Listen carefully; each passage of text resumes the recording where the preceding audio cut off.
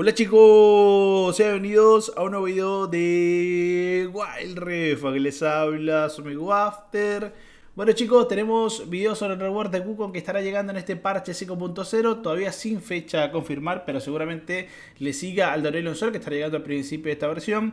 Y después de ver los cambios en las habilidades, hablaremos un poquito sobre el futuro de los campeones en el juego, porque bueno, estos últimos días hemos tenido cosas interesantes y creo que será un año 2024 en cuanto a campeones. Me parece que hay cositas eh, para emocionarse un poco, ¿no?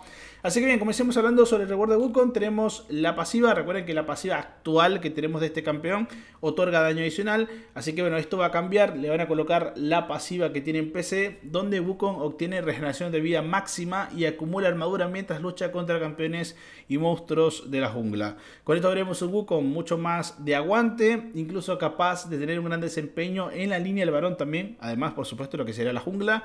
En cuanto a la primera habilidad, ahora la primera tendrá una nueva pasiva para realizar daño adicional con esta habilidad, así que digamos que le quitan la pasiva como tal del campeón, en la cual hace daño adicional, y le otorgan un poco eso en lo que sería la primera para balancear un poco el asunto, así que no está nada mal.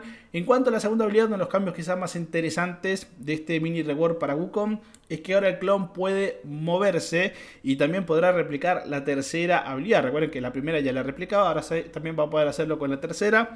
Así que bien, lo de moverse me parece que es algo brutal, o sea, ahora podrá ser mucho más creativo ¿no? a la hora de poder engañar a otros enemigos.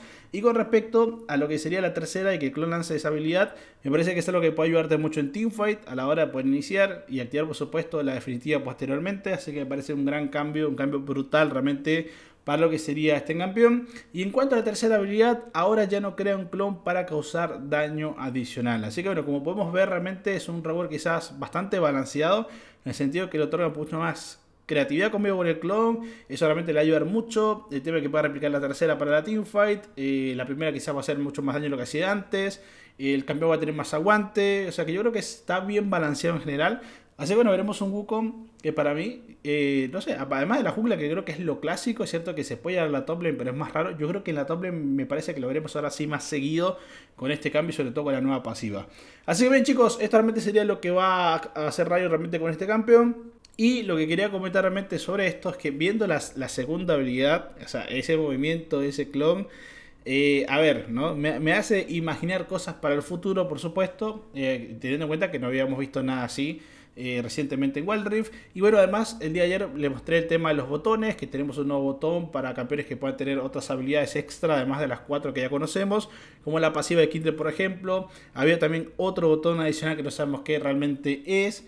Y bueno, viendo todo lo que está pasando últimamente, el libro Hechizo Definitivo de Aran, que tiene las animaciones, por supuesto, la definitiva de Silas, los rumores de Viego en el 5.1, en fin, yo creo, yo creo directamente que me parece que este año va a quedar bastante claro que no hay campeón imposible en Wild Rift. Antes sí lo teníamos, eh, había unos que realmente no se podían diseñar, no se podían hacer, pero me parece que este va a ser un año donde ya no quedan campeones imposibles. Van a haber campeones más o menos difíciles, pero realmente todo va a ser adaptable y eh, creo que está quedando demostrado con las cosas que hemos estado viendo últimamente.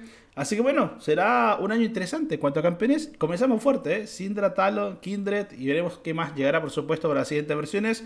Así que bueno chicos, ¿qué opinan ustedes al respecto? Espero que les haya gustado mucho el video como siempre. Aquí les saludo su amigo After, nos vemos en la próxima y hasta luego.